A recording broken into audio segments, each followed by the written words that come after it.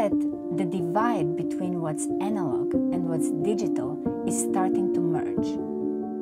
Our physical world is so unimaginably rich in texture and in depth, but until very recently, our digital experiences, for the most part, have been limited to flat, 2D impressions of reality.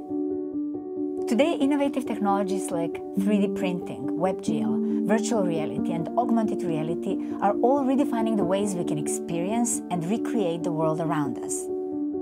So, what do all of these revolutionary technologies have in common? They all require high quality 3D digital models. What does it take to make a 3D digital model? You can create a model from scratch geometrically constructing it by extruding and revolving with NURBS, meshes, splines, and solids. It's a laborious process requiring complex software and high-end knowledge.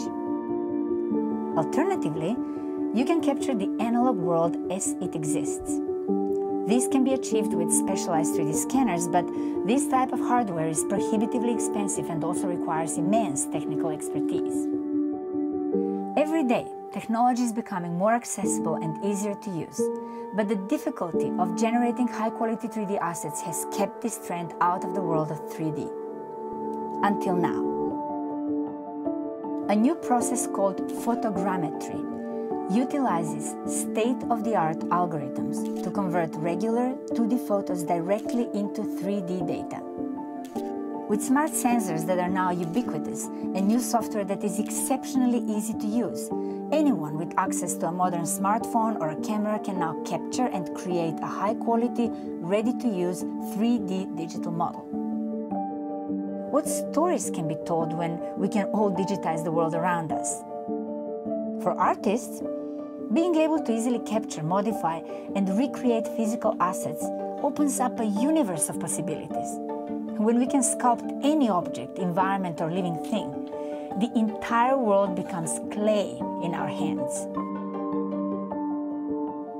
For marine biologists, it's helping them better understand the world's ever changing oceans. For the first time ever, using photogrammetry, scientists can measure coral reef systems with astonishing accuracy. Not only does this enable us to document the state of existing corals, but with repeated scanning, we can actually observe ecological changes as they happen over time. The Buddhas of Bamiyan in Afghanistan were glorious statues carved into a massive cliff over a thousand years ago. In 2001, they were destroyed forever when they were dynamited in an act of religious extremism. Like so many times in our history, an invaluable piece of human heritage had been lost. Except this time, we decided to search for the lost statues in a place that previously nobody would have ever thought to look the web. Between Facebook, Flickr, and Google Images, there are thousands of photos of the Bamyan Buddhas taken by tourists through the decades and from almost every possible angle.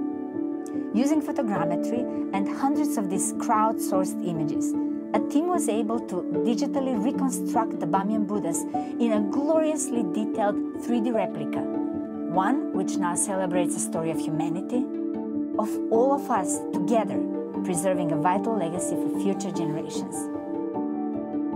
In the near future, we will be able to digitize our entire planet as it exists in every moment. This four dimensional impression of our world will enable future generations to literally scroll back and see what was really going on in this particular part of the world at that time. We'll digitize ourselves as well, giving our great great grandchildren the chance to see us the way we were when we were their age. By being able to better document our achievements as well as our mistakes, we will help new generations build a future for themselves that we can't even imagine. Some stories are simply too big to be told by one person or one group of people.